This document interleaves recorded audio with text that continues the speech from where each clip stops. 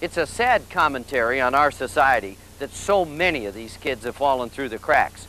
The challenge is to teach kids early that there are better ways to make their mark on their community. I can't control my high, I can't control it.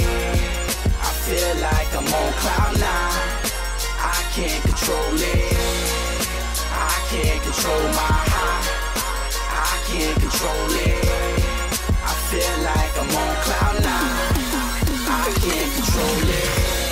Tell me who you are and give me a tag. Chris Rodriguez. My tag is Tame. T-A-M-E. True art must evolve. I think if you're gonna if you're gonna deface someone's house, I mean that's that's vandalism. You know, it's their property, it's their place. You don't necessarily want somebody to come and spray paint your house. Bridges? Why not? Yeah, walkways? Yeah, yeah, throw it out there. When they think of graffiti, they don't think of this. The first thing they think about is the bombing, the tagging. So you look at us, no matter what we do, no matter how beautiful my pieces are, we're gonna be looked as vandals. It's a felony crime. Spray paint on a building, like right here. Yep. Go to jail, prison. What do you think about that? You, nobody wakes up and say, I'm gonna be a writer. Yeah. Nobody. You see something you like, Yeah. and you like, wow, I wanna try that. You know, different levels. Yeah, it's different levels. We Start off as a little hood rider, a little, you know, Well, that's what I was going to ask. criminal, as they're mm-hmm. gonna call you. Right. But you graduate into something like this. Had dudes around me, I was better off without. They noticed that I'm a legend. How I'm working the crowd. 50 niggas deep, Philly running the town. Got 50 running with me, I see them out in the crowd. Go ahead and soak it in, I hope I make you proud. This ain't guns a threat, yeah, that's word of mouth. I'm more than just a threat, what the fuck they talk about? I paralyzed the game, now go ahead and try to walk it out. My name hold weight, I'm majors on fucking top 10.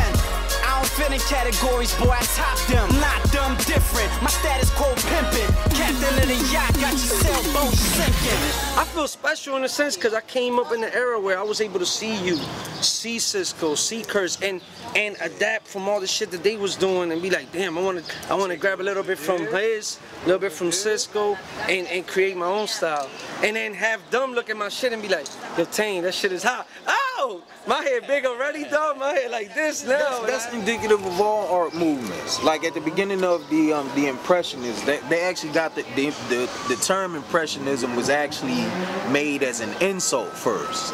You know what I'm saying? Like when Cezanne broke his shit out, you know what I'm saying? You know, they was like, what is that? That's not even a picture. It's an impression of a picture. You know what I'm saying? He was like, you know what? Fuck you, it is. Yeah, yeah. I understand what we did was destroy property, you know what I mean? So now I'm trying to do this, do the art thing, you know what I mean? Where, you know, people could see what we used to do in the streets and actually be able to purchase it and, and you know, commission our work.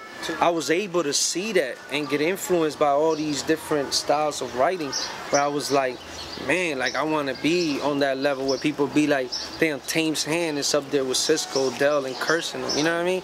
And and thank God I was able to do that. Where now, like I said, I'm able to do this. You know what I mean? You see them? Their tags are little black letters on little white cards of paper. My tags running in Brooklyn, the Bronx, Queens right now. In every borough, on every line. It's eight feet high and it's beautiful. But what about tomorrow? Tomorrow's a long way off, man. When I'm writing trains, or when you're mixing sounds, making people dance, that's everything. We're alive.